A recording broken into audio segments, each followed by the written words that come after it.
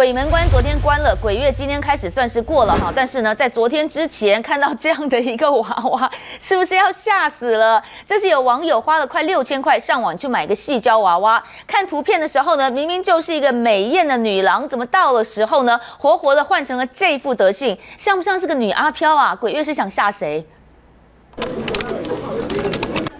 点开成人网站，专卖细胶娃娃的网络专卖店，商品琳琅满目，种类众多，其中还有多款以女星名字命名的细胶娃娃，像这个以日本女星麻生久美子为名的细胶娃娃，脸蛋艳丽，嘴唇红润，身材姣好，一个还要价将近六千元。有民众订购这个细胶娃娃，结果收到货时竟然是这样。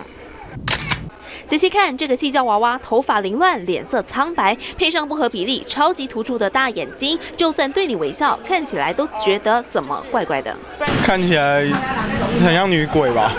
就是应该会吓到吧？就像那个、那个、那个、那个烧那个纸人啊！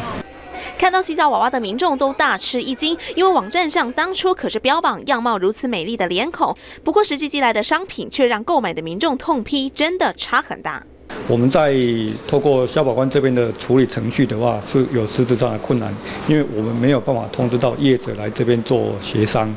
啊，那当然消费者可以试图试着在网站上面跟这个卖家来沟通，来要求他退货。